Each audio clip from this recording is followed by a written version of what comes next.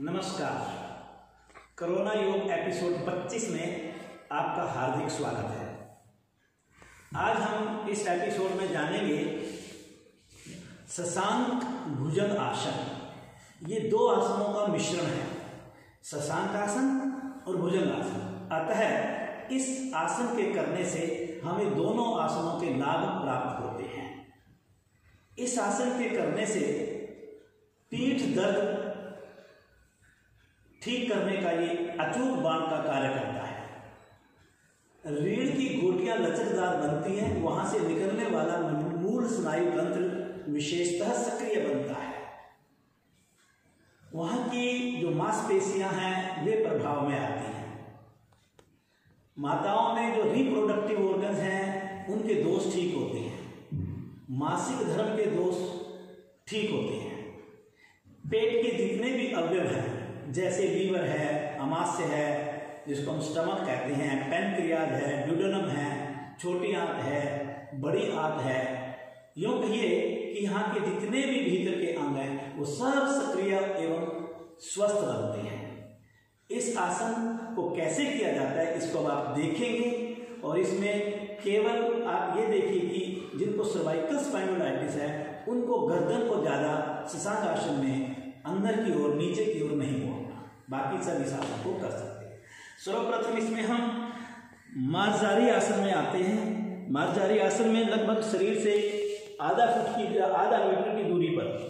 अंदाज़ा इससे भी थोड़ा सा ज़्यादा हो जाता है। आप वो स्थिति बना लीजिए, इसमें एडी और पंजे बार बार हिलेंगे नहीं, अपनी जगह से इसका ध्यान रखें और यहीं से अब मुझे धीरे धीरे पीठ वाले भाग को, श्रोणी प्रदेश को नीचे की तरफ़ लेकर के जाना है।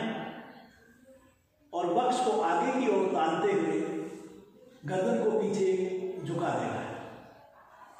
श्वास भरते हुए क्रिया होगी और श्वास निकालते हुए धीरे धीरे आपका नितम पीछे की ओर उठते हुए वापस आएँगे। हथेलियाँ वहीं रहेंगी।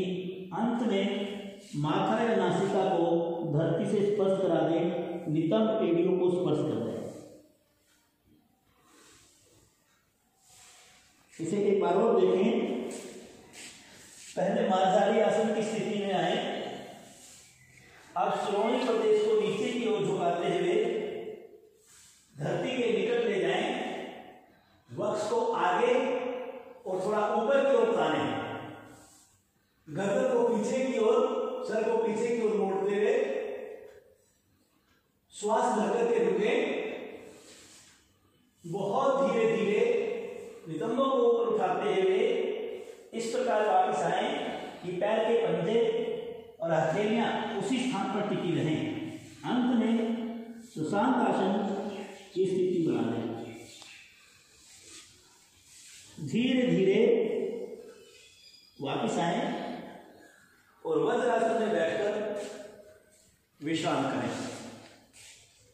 यह आसन रीढ़ के सभी दोषों को ठीक करने वाला आसन है। प्रतिदिन इस आसन का पाँच बार सुबह, पाँच बार शाम को अभ्यास करें। स्वस्थ रहें, व्यस्त रहें, मस्त रहें। धन्यवाद।